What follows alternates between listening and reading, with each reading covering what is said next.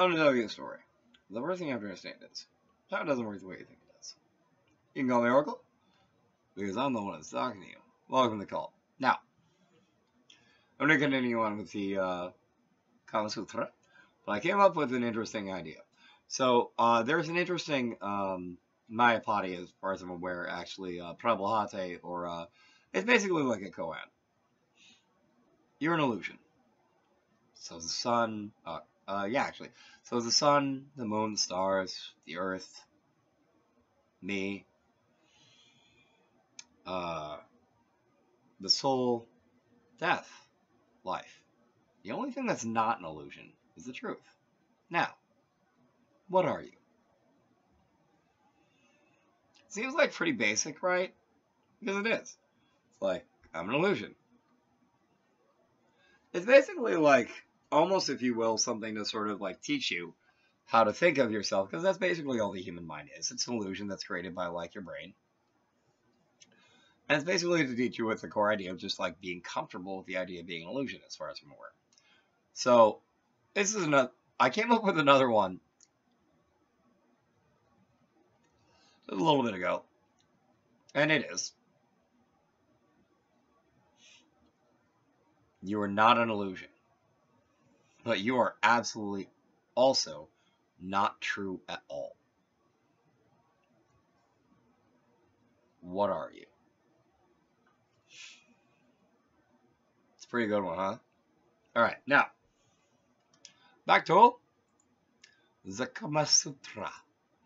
Oh man, I had something else I was going to talk about that was really nifty. Oh yes, actually, even before I get into this, uh, oh, okay, okay, okay. So, so, all right, now, I think I fig- figured something neat out.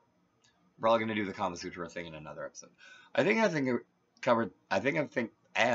I think I figured out the difference between like confidence and garva, or like pride like unto the devil.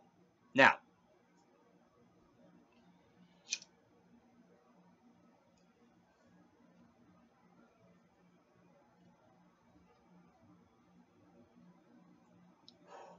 sometimes people who are arrogant or have the garva.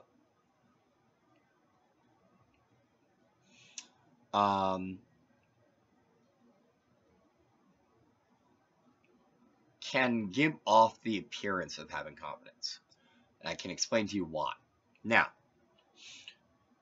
confidence, in my opinion, just my opinion, more than I have the capability of being wrong. So, um, is basically having nothing to prove. Now, now, where does that intersect in a way that makes it look like Garva. Interesting thing. Basically, as near as I can tell, Garva is assuming that you're always right. Now, like, you don't actually have proof of this. You just assume you're right. And that's Garva.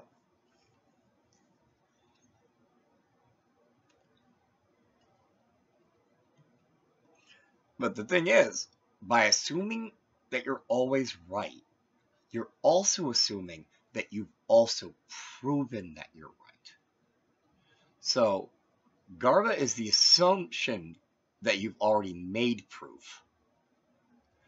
Whereas confidence is not needing proof, which means one of the best tests for GARVA is if you're wrong, and you admit it, get called out on it, whatever, and you're just like, all right, fine, I'm wrong. What else? Then you can't have the GARVA because the one that proved you wrong already proved you wrong. So there's nothing to prove for you.